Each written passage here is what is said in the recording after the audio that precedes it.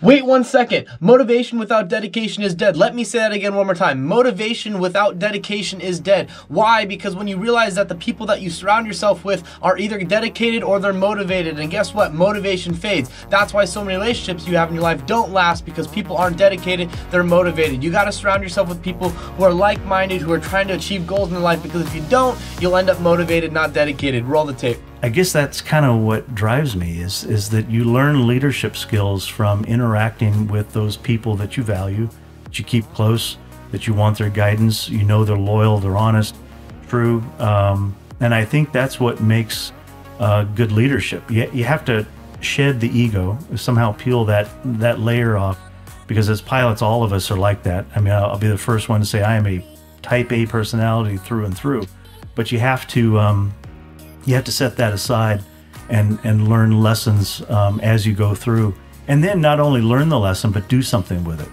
uh, to implement um, uh, those things into uh, making a company better or making your industry better.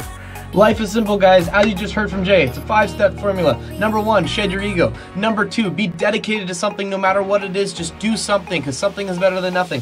Number three, find people who are dedicated and like minded like yourself and run with them. Number four, learn from those people who are also dedicated in your life and also look to the people in your industry to learn from them to see what they're doing. Number five, go subscribe to JPL Aviation on YouTube, Spotify. Go help us out, share the podcast. Thank you very much.